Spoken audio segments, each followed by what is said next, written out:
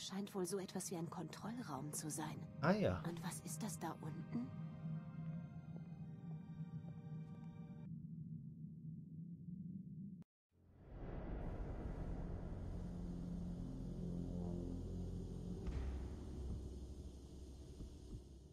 Eine Tesla-Spule. Der Prototyp. Ja, zum Glück haben die beiden vergessen, dass sie mich noch umbringen wollten. Ja. Problem gelöst? Noch nicht ganz. Aber ich habe zumindest unseren Saboteur gefunden. Es gab da eben einen furchtbar bedauerlichen Unfall. So ein Pech aber auch. Was macht das Wasser? Das ist jetzt nicht so wichtig. Ich brauche sie hier. Olex, darf ich vorstellen? Professor Charleroi, unsere wissenschaftliche Leiterin. Es ist mir eine Freude. Ja, ja, sparen Sie sich das. Wir haben es eilig. Der Chef wird in Kürze hier eintreffen und dann will ich alles startklar haben. Das ist die Klinikleiterin, oder? Die Mhm. Nervenklinik-Chefin. Genau. Ja, ja. Oleg, Sergei und diese Nicole Charleroi. Scheint eine Art Vollversammlung von allem menschlichen Abschaum dieser Erde zu sein. Am liebsten würde ich jetzt durchs Fenster springen und allen dreien. Aber was machen die da unten überhaupt? Und was ist das für eine Maschine? Ich weiß ja nicht wirklich, was hier vor sich geht. Aber ich bin mir dafür umso sicherer, dass es irgendeine ganz miese Nummer ist. Und ich weiß, sobald ich auch nur eine klitzekleine Möglichkeit dazu kriegen sollte, dann werde ich denen ganz gewaltig in die Suppe spucken. Das macht man nicht. Bedienelemente. Drücken wir einfach mal Knöpfe. kompliziert aus. Zumindest für jemanden, der davon unheimlich wenig Ahnung hat. Ich drück trotzdem Hier sind Knöpfe. 3000 Schalter und keiner ist beschriftet. Ich versuch's gar nicht erst. Ach, komm schon. Aber die Chancen stehen doch gut, dass irgendwas für die drei da unten Tödliches passiert, wenn du einfach random Knöpfe drückst. Ja, das stimmt. einem der Monitore ist jemand zu sehen. Wahrscheinlich kann man irgendwo zwischen den Räumen hin und her schalten. Aber ich finde die entsprechenden Knöpfe nicht. Na gut. Ein Fenster. Die scheinen da unten alle schwer beschäftigt zu sein. Die Zeit sollte ich nutzen. Ein riesiger Plasmabildschirm. Ah, und, und Videorekorder. Ah, Wozu brauchen die so viele Videorekorder? da merkt man auch, das war die Zeit vor DVDs noch. Wirklich? War, Es ist 2006 das war Anfang, schon... Mitte 2000 so, ne? Nee, das kann eigentlich nicht sein. Aber vielleicht ist Videokassette Ist immer halt noch, noch so alte- besetzt ja. mit...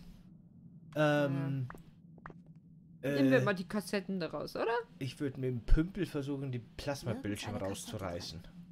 Hm. Okay. Und Schrank. Aber wir können versuchen, mit dem Pümpel den Schrank aufzumachen. Ein einsamer Sprengkörper ist noch drin. Ich nehme ihn mal an mich. Okay. Wir einfach mal einen Sprengkörper. Ich habe gelernt, dass das keine gute Idee ist, einfach so Sprengkörper mitzunehmen. Weil wenn Hast die du gelernt? Am eigenen Leib? in Fernsehserien. Ah ja. Weil wenn die irgendwie nass sind oder so, dann kann das ganz schnell mal explodieren. Wenn die alt sind. Ja. Ich habe in einem, also in einem Film behaupten die zumindest, dass altes, ich glaube TNT viel krasser explodiert wie frisches. Und das kann man überhaupt nicht einschätzen. Hm, möglich. Wer weiß. Okay, dann kombinier Pümpel und, und, und Sprengstoff. Pümpel und Silikon? Nee, schade. Aber Silikon und. Nee. Hm, Schade. Nix geht. Pümpel und Sprengstoff geht auch nicht. Nee. Ha, ich hätte jetzt gedacht, dass man den irgendwo, ne, die Granate so festpümpelt irgendwo. Festgepümpelte Ba- ja. Granate. Später vielleicht, später. Na gut. Hier können wir wahrscheinlich noch nicht weiter, weil da ist. Sieht aus wie ein Fahrstuhlschacht. Der passende Fahrstuhl ist aber nirgends zu sehen. Genau, da fehlt der Fahrstuhl. Ohne Fahrstuhl? Heute ist mir ausnahmsweise mal nicht danach, Abgründe runterzuspringen. Vielleicht morgen wieder. Naja. Sie ist aber auch echt faul. Was für eine Videospielheldin springt nicht Also ab und zu mal in wirklich. Abgründe? Also wirklich. Dann gehen wir da die Treppe runter. Ah, okay, hier war vorhin die Cutscene gewesen. Da fehlt irgendwas, haben sie gesagt. An der Maschine. Ich glaube, das ist eine Wasserpumpe. Sie läuft aber nicht. Ist bestimmt verantwortlich für fließendes Wasser und die Heizung. Deswegen ist es hier drin wohl auch so kalt.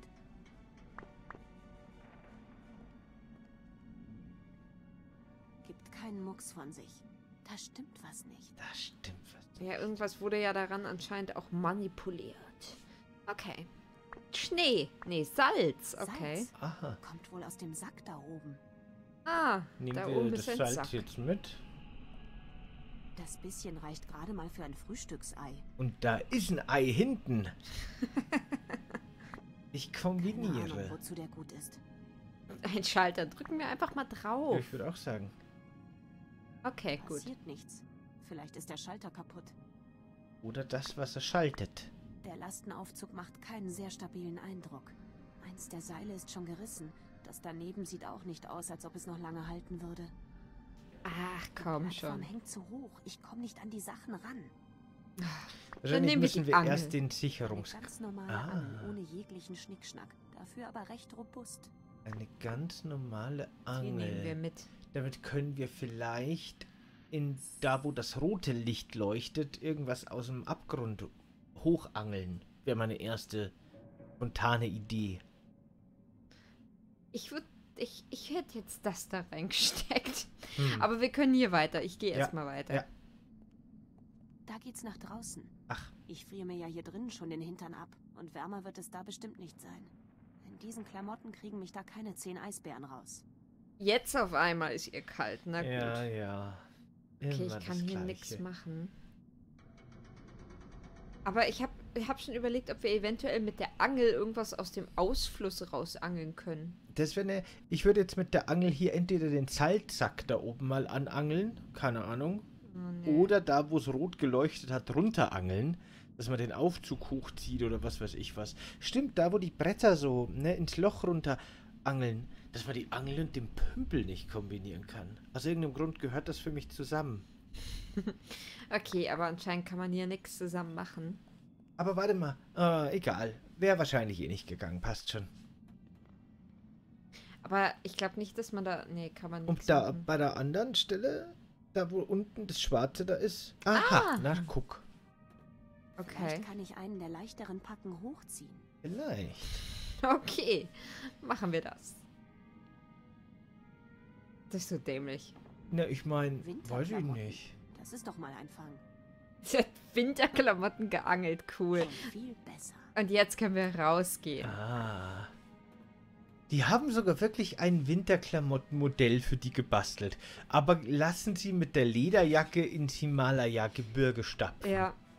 Echt What? unglaublich. Why? Sag mir bitte irgendjemand, dass ich träume. Wo bin ich denn hier gelandet?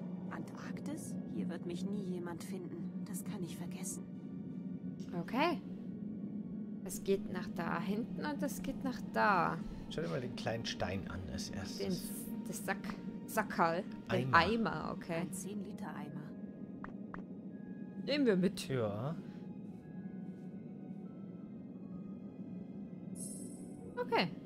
Da ist gefrorenes Eis drin bestimmt. Ah. Also, 10-Liter-Eimer. okay, man kann da nicht. Okay. Ein Antennenwald. riesiges Feld voll mit diesen komischen Dingern. Ich nehme an, dass da Antennen drin sind. Aber was macht man damit? Signale empfangen oder Signale senden? Die Leistung der Anlage dürfte jedenfalls gigantisch sein. Gigantisch. Da kommen wir wahrscheinlich nicht weiter, oder? Gelände verlassen? Ne, das glaube ich nicht. Wir gehen einfach. Na dann. Ein alter Walfänger, Uh. komplett vom Eis eingeschlossen. Wie lange der wohl hier schon liegt? Harpune. Und jetzt können wir den Pumpel in die Stationäre Harpune laden. Die Dinger haben eine enorme Durchschlagskraft und eine relativ große Reichweite. Okay, nehmen wir mit. Worauf soll ich denn schießen? So richtig viele potenzielle Ziele habe ich hier irgendwie noch nicht entdecken können. Ah, Okay, da ist ein Pass. Da ist Waltran drin.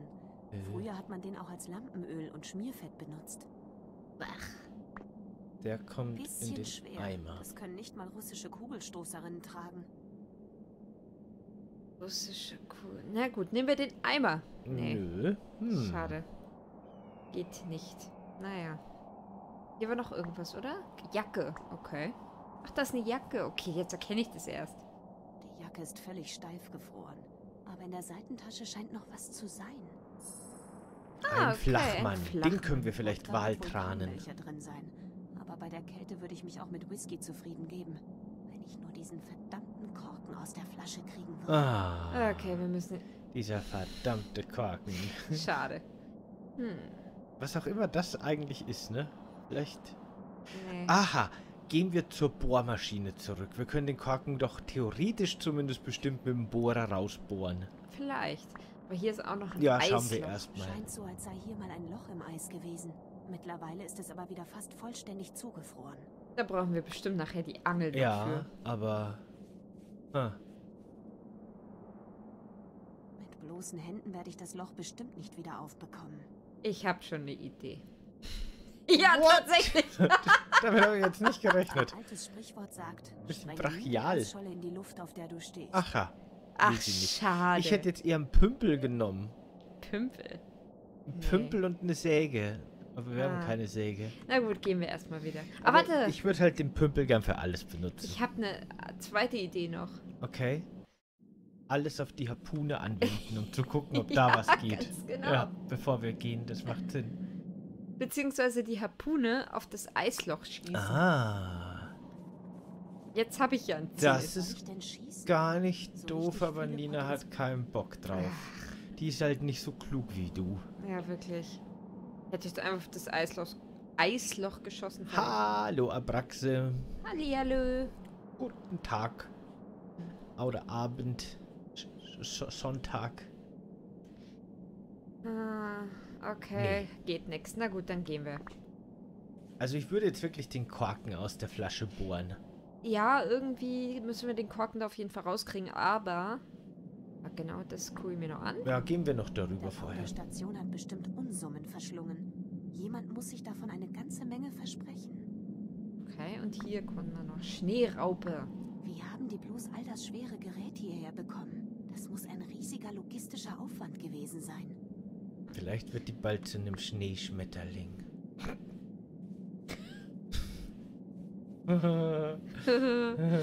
ja, das passt zu dem Niveau der ich ich wollte gerade sagen, ich muss ja Ah. mein Wortwitzniveau anpassen. Ein Pinguin. Aber erstmal Schild angucken. Moment. Ein Warnschild. Vorsicht, steiler Abgrund.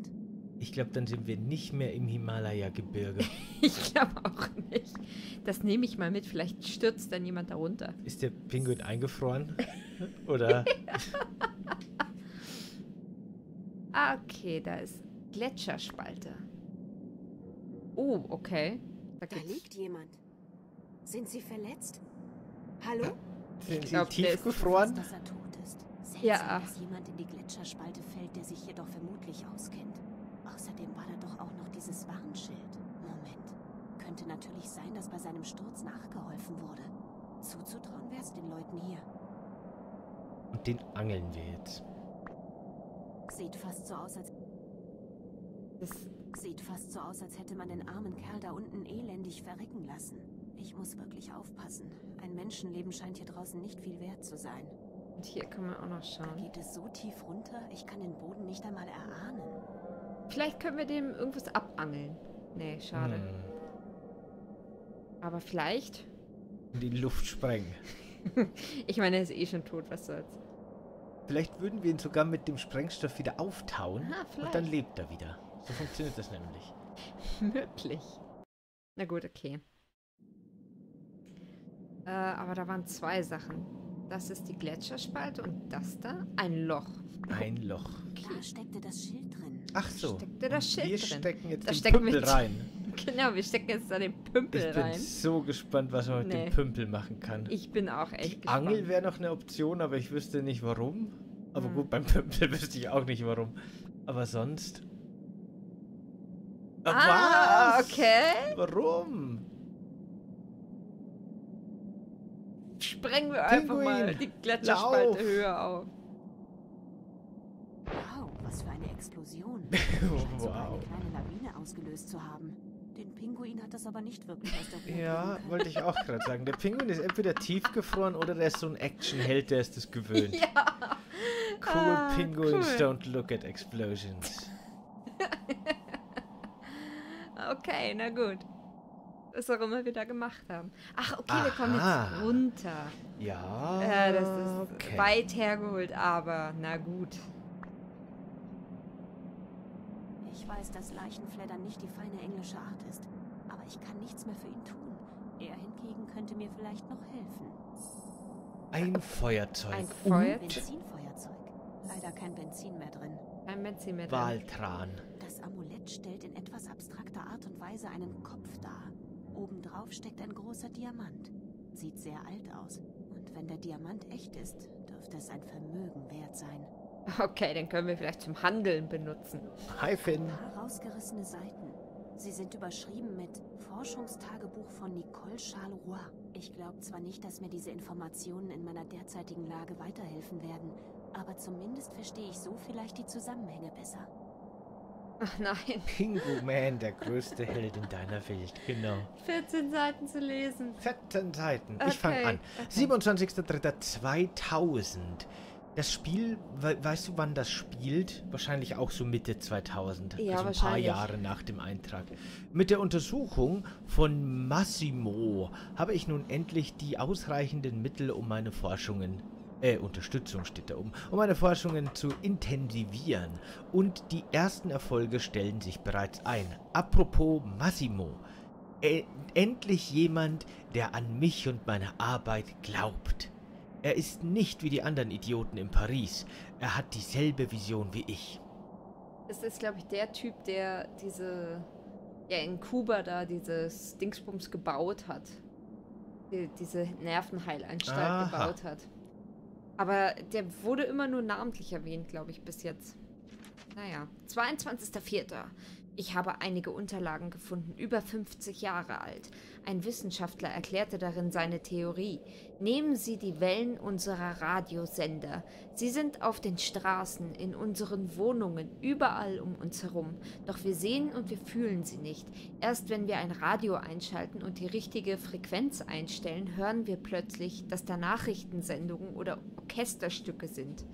In gleicher Weise wird es möglich sein, Gedanken unbemerkt in das menschliche Gehirn zu bringen. Man muss nur die richtige Frequenz finden. Inception Ge quasi. gewagte These auch. Aber gut. Ich meine, unser Hirn hat halt wahrscheinlich keinen Empfänger. Das ist das Problem. Hm. Aber wenn man da einen Empfänger einbaut Vielleicht. und dann irgendwie die richtigen Areale ansteuert, dann wird es vielleicht gehen. Meine, ach so, 23.12.2000, meine anfängliche Euphorie ist etwas gedämpft. Unser Schwerpunkt liegt immer noch auf der Grundlagenforschung. Dabei wollte ich schon viel weiter sein. 5.8.2001. Ich bin nun endlich viel weiter. Nein, Schmarrn. Immer noch keine konkrete Ergebnisse in Sicht. Aber zum Glück bleibt Massimo ruhig und fördert das Projekt weiter. Er wird es nicht bereuen. Hm, ich glaube schon. Okay, 14.12.2001. In den letzten Wochen zeigten unsere Versuche, dass der Energieemitter fehlerfrei funktioniert. Mir ist zwar bewusst, dass wir noch lange nicht am Ziel sind, aber eine Etappe ist nun geschafft. 22.02.2002. Massimo hat heute die Anlage zum ersten Mal besucht. Er ist sichtlich beeindruckt von unseren Ergebnissen und sichert weitere Mittel zu. Sie ist ein bisschen scharf auf Massimo, oder? So ein bisschen? Ich weiß nicht genau, aber ich fände es besser, wenn es der 20.02.2020 gewesen wäre, der letzte Ja, Eintrag. hm. Finde ich schade. Ja. Vertane Chance. Ja. 20.10.2002. Heute sind die ersten erfolgreichen Testreihen beendet worden. Zwar zeigten die Versuchstiere nur leichte, reflexartige Motorstö Mot Mo Motorikstörungen, aber damit ist der Anfang gemacht. 8.3.2003. Wir kommen nicht voran. Es gelingt uns einfach nicht, den entscheidenden Schritt nach vorne zu machen. An einen kontrollierten Beeinflussung der Versuchstiere ist nicht zu denken. Und ich habe keine Ahnung, woran es liegt. 25. Äh, 6.2003. Es sind die Strahlenfelder. Es müssen einfach die Felder sein. Felder. Sie sind vermutlich nicht konstant genug, um eine gezielte Beeinflussung der Gehirnwellen beim Probanden zu erzielen. Und vielleicht fehlt noch irgendwas, aber es sind bestimmt die Strahlenfelder. Immer diese Ach, es sind Strahlenfelder. immer die Strahlenfelder. 5.8.2003. War das das Ende? Massimo hat mich von meiner Forschung abgezogen und mich zurück nach Europa geschickt.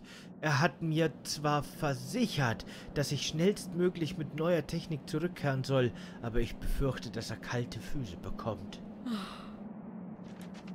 22, äh, 2.3.2005.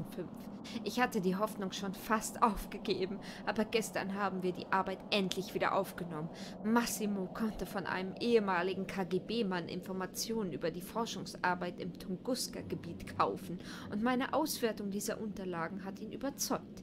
Die Russen arbeiten offenbar mit Bruchstücken von diesem undefinierbaren Ding, das 1908 dort explodiert ist. Das Erstaunliche, sie konnten damit bei den Versuchstieren deutlich schwerwiegendere und konstantere Verhaltensveränderungen feststellen als ich in meinen Versuchen. 8.3.2005. Wenn die Berichte aus Russland tatsächlich der Wahrheit entsprechen, könnten unsere Probleme bald gelöst sein. Mit diesen Bruchstücken müsste es möglich sein, extrem konstante und störfreie Strahlenfelder zu erzeugen.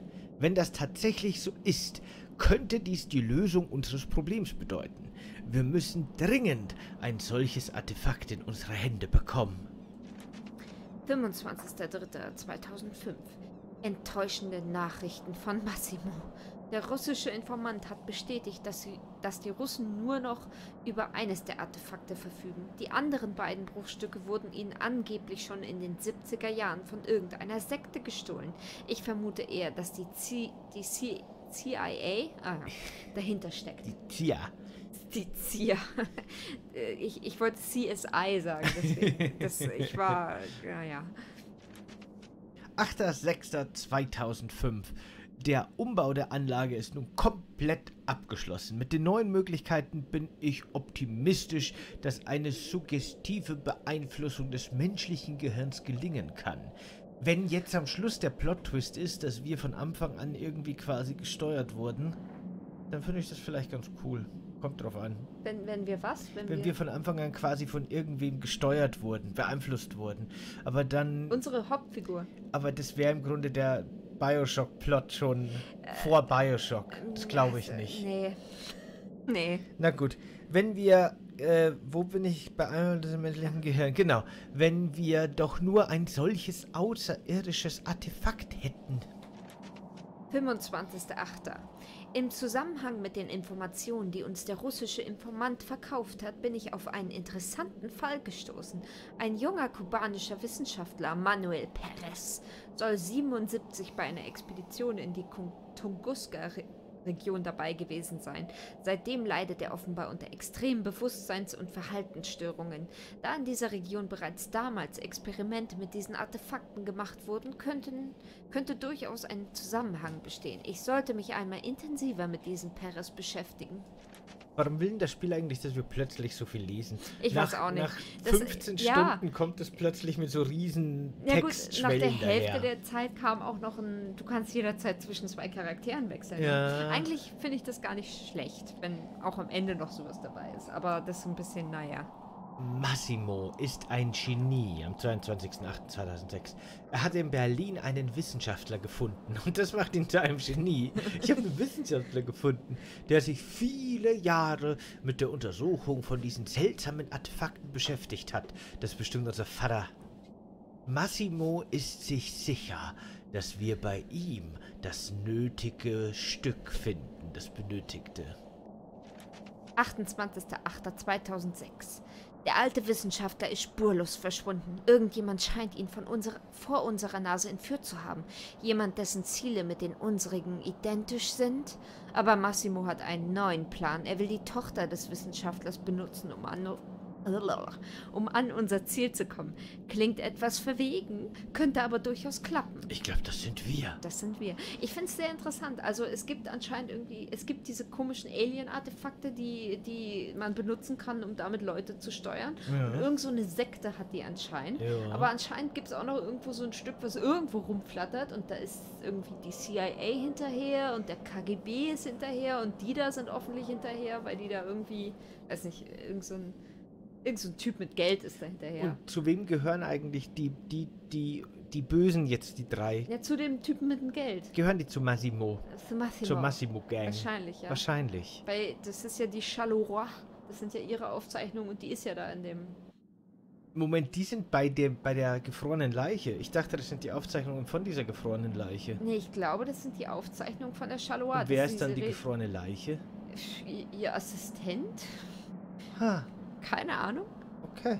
So hätte ich das jetzt mal interpretiert. Keine Ahnung. Aber offensichtlich wollte der Typ irgendwie Gedanken manipulieren. Ja. Wahrscheinlich, wahrscheinlich um, um irgendein Produkt besser an den Mann bringen zu können. Wahrscheinlich. Also Für Werbung. Werbung. Ja, ja, Ma- Werbemanipulation oder sowas. Ich bin mir sicher. Na gut, vielleicht können wir da runter angeln. Nee, schade. Na gut, gehen wir wieder hoch. Ich glaube, wir haben hier alles. Okay. Ich muss unbedingt diesen Pinguin an. Ja. Der Pinguin. Der ist cool. Ob der noch eine Animation für irgendwas bekommen hat? irgendwas zu sitzen. Wahrscheinlich Ah. Ah. Wir klauen den jetzt dem wir- Pinguin aber nicht sein Ei, oder? Wahrscheinlich machen wir Vielleicht. genau das. Oh Gott, wir sind so schlecht. Wir sind so furchtbar. ja, aber wirklich. Ah, das ist ja, das ist ja das Schlimmste. Aber das geht gleich aus. Ja, es hilft nichts. Mein Tablet geht gleich aus, aber ich brauche sie nicht unbedingt. Ich Okay. kann, du musst halt dann den Chat lesen, wenn es ist. Ich kann den nicht mehr Ah, lesen okay, jetzt. na gut.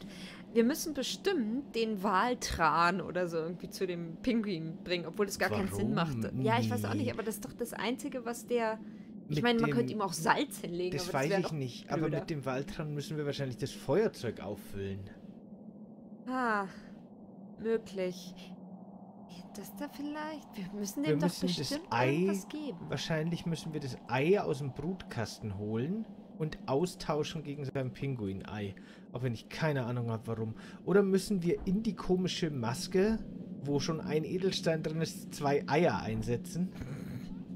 Ich, ganz ehrlich, ich gehe jetzt mal einfach alles durch. Ja, ja klar, mach das. Ah, da war schon was. Uh, Wir zünden die Angel an. Das die Angel an. Feuerzeug könnte vielleicht als Blinkerersatz und Blei in einem fungieren. Ein Versuch wäre es auf jeden Fall wert. Verstehe Äh, ich nicht. Okay. Naja, das äh, als, als Blink, also als, als irgendwas zum Fische fangen, keine Ahnung.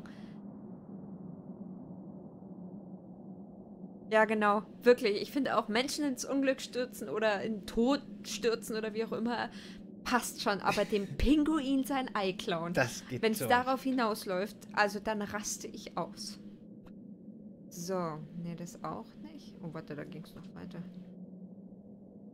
Hm, nee. Nee. Ich mache jetzt wirklich ganz stumpf alles Aber durch, wenn ich glaube, ich irgendwas glaub, sie hat bis jetzt wirklich noch niemanden umgebracht. Naja, zumindest. Sie hat ein paar Leben ruiniert, Ja. aber nicht genommen. Wahrscheinlich haben die sich selbst Der ein oder Leben andere, ruiniert. ja, vielleicht. Das kann schon sein. So, na gut, okay. Es geht nix. Dann Wir müssen bestimmt in diesem Wasserloch, was gefroren ist, irgendwie drin angeln. Aber wie kriegen wir das auf? Wenn, wenn. Ach ja, wir haben ja das, äh, wir haben ja den Sprengstoff leider nicht mehr. Hm. Warte mal, ich habe eine Idee. Ich glaube, ich weiß, wie wir es aufkriegen. Mhm. Weißt du auch, wie wir es Nee. aufkriegen? Okay, mal schauen, ob es geht. Ah, schade. Ich habe gedacht, vielleicht könnte man. Siehst du, das sieht so aus, als wenn das so ein. Als wenn das so raussteht, als könnte Hm. man mit dem, mit dem Diamanten irgendwie das Ei schneiden, aber das geht leider nicht. Ah, stimmt. Versuch mal die Angel mit dem Feuerzeug auf den Tran da hinten anzuwenden. Den Tran. Nee. Ähm, versuch mal alles auf den Tran. Und die Harpune vielleicht auch. Ich habe keine Ahnung. Die kann man aber nicht auf den. Ach so. I- Nee, das geht glaube ich nicht. Ja. Ich steck mir einfach das Schild mal in den Tran. Nee, okay, es geht nix. Die hatten wir alle vorher Na gut, schon dann gehen wir jetzt nochmal rein und bohren den Korken aus der Flasche. Vielleicht Ja. ergibt sich dann was Neues. Also das müsste theoretisch funktionieren. Ich weiß nicht, ob das Spiel das erlaubt, aber Hm. die echte Welt würde das erlauben. Denke ich. Hier ist auch noch Salz. Ich frage mich, wofür man das Salz braucht. Ja, keine Ahnung. Vielleicht die Angel darin eintunken? Nee um das Wasser im Eimer aufzutauen. Nee. Ist da überhaupt was drin? Ich, ich weiß, weiß es nicht. Ein Liter Eimer. Das ist nur ein hm, Eimer. Hm, na gut. Ich weiß echt nicht, wie wir jetzt hier weitermachen sollen. Okay, wir gehen jetzt erstmal zu dem Bohrer und versuchen. Das wäre jetzt der einzige Anhaltspunkt, den ich irgendwie noch habe. Ansonsten weiß ich nicht mehr weiter.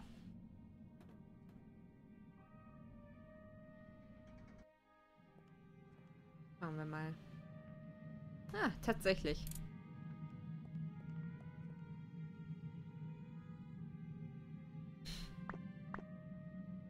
So, stilvoll entkorkt. So, Okay. und Das was ist jetzt da drin? Alle Mühe war wieder Okay. mal vergebens. Da Ah, machen ja. wir jetzt den Tran. Aber warte mal, wir haben jetzt auch einen Korken bekommen. Vielleicht kann man Ah, den stimmt. Korken noch mit irgendwas kombinieren. Ich weiß zwar nicht, wie der Korken ganz geblieben ist, nachdem wir den rausgebohrt haben. Na, vielleicht, ich verstehe schon, ne, weil es halt ein sehr filigraner Bohrer, der wie ein Korkenzieher funktioniert hat. Ja. Ah, okay. Ich würde jetzt trotzdem mal rausgehen und den irgendwie füllen mit Tran oder ja, so. genau. Ich wüsste jetzt sonst auch nichts. Ich wüsste auch nicht, für was wir jetzt eigentlich dann den Tran brauchen und so, aber ja, sehen wir dann. Waltran im Flachmann.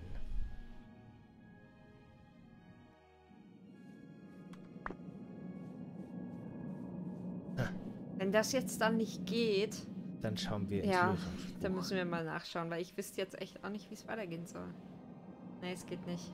Ha, dann schauen wir Okay. wirklich mal schnell.